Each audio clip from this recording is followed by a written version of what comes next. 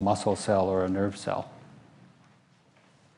Now I'm running out of t-shirts here, so I'll have to give a rain check on those where I don't get to them. Yes, here? Um, I was wondering if there's any, um, like, any way that stem cells could be used to treat degenerative diseases caused by prions? Like, because I read in an article that Parkinson's might actually be caused by a prion, not um, Uh, that's a great question. It's not my field, and I don't know a lot about it, but I would say that if there are cells which are defective for whatever reason, prion changes in conformation and then a dysfunctional cell, I think it's perfectly reasonable to imagine that one could make that kind of missing cell and use it for replacement. Now, in, in, some cases, like in Parkinson's, it may well be possible to do it because it seems one of the principal or most important functions of the missing neurons are to make dopamine. But in other cases, like in Alzheimer's, where it's the neural connections over the history of the animal that give rise to memory and cognition, it's much less likely.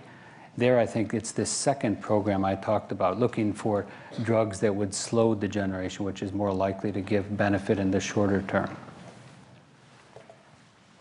Okay. And let's go back to this side here.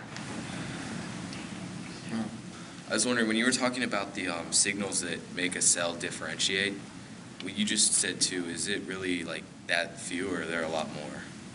The, the, the signals that tell a cell what to become, uh, determine its fate, are really this, one of the sort of hottest areas of modern biology is to try to figure out what factors are in the cytoplasm, these transcription factors, which go and rearrange the chromatin and set uh, the sort of whole orchestra in play for all of early development.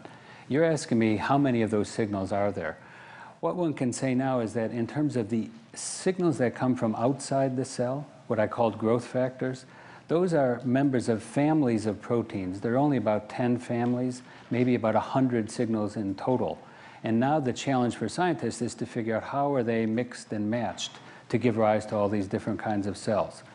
One example I sometimes use is that when you go to a Chinese restaurant, you have a menu of hundreds of items, but if you were going to kitchen, you might only find six or seven pots. It's the way they're mixed and matched to make all these different dishes. Similarly, the mixing and matching of the time and the concentration of those signals can give rise to all these different kinds of cells.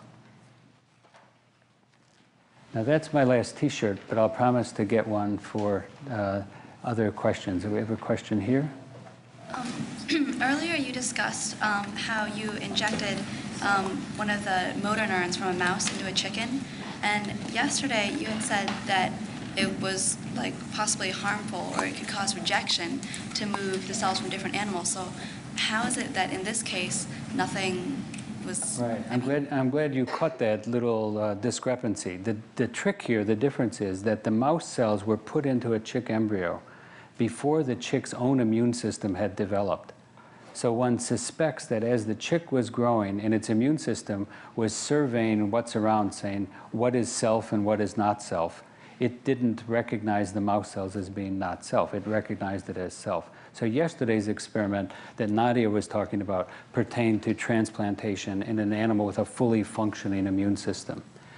I'm, I'm also glad you asked the question, though, because in all of the procedures I talked about today, I've pretty much ignored the problem of immune rejection.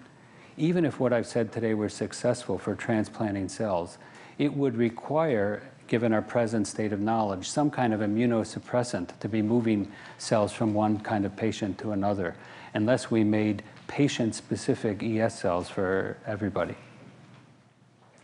Yes, in the green? Um, I understand how you would develop patient-specific cells and then possibly inject them into an embryo. But how, if you develop patient-specific cells, how would you inject it into um, an adult person who had the disease? Would you inject it right to the site and expect the cells to start dividing and re like regenerate that those missing cells? Right, it's a good question, and of course the answer is going to be complicated because it depends on which disease we're thinking about. In the case of diabetes, it's already known that one can transplant islets from a cadaver into the liver of a patient and that they will function for a year or more. That's obviously not what one would do with a motor neuron to treat ALS. You don't want your motor neurons in your liver, right? So for each disease, there would be a different kinds of transplantation. And I'd say the cases where this field is farthest along is transplanting the dopamine producing cells, the neurons, into the midbrain for Parkinson's and for pancreatic beta cells for diabetes. Question here. Are there any type of degenerative diseases that attack two types of cells instead of just one? I think uh, the answer is certainly going to be yes, but we don't know so much about the progression of all of these diseases. The reason I guess it's going to be yes is that once one of the cells in your body starts to screw up, all of the cells are constantly interacting. So the adjacent blood vessels or other tissues are likely to gen- degenerate at the same time. This has been a special problem in the nervous system to try to figure out when neurons degenerate. Is it because the supporting cells, like the glial cells, are really the ones that have the defect and aren't providing enough support or nourishment? Or is the neuron gone wrong and then when it's not healthy, its adjacent cells fall apart? We have time for one more question. Let's go over here for our last question. I was just wondering if this process of reprogramming nuclei could maybe one day be used to treat or reverse um, some of like the oncogenic mutations that ultimately lead to cancer, or if the two are just completely unrelated.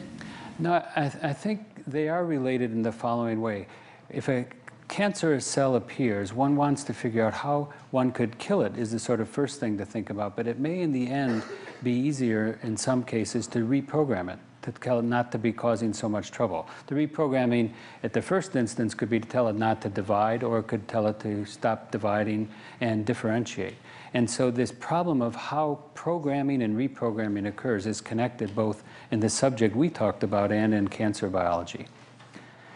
Thank you all very much, and I'm now glad to hand it off back to Dennis.